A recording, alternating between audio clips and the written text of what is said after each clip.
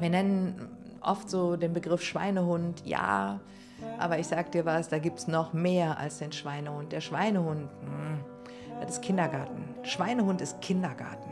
Ja?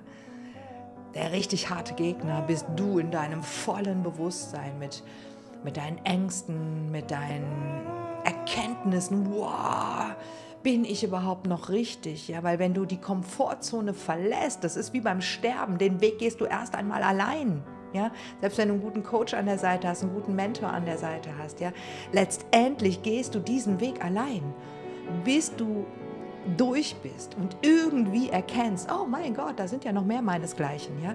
Aber bis das wirklich gelungen ist. Und das passiert jetzt in kurzen Abständen immer wieder. Das sind so Phasen, so Etappen, das sind so Wellen, ja, die wirklich jetzt auch ganz neue Bereiche ansprechen.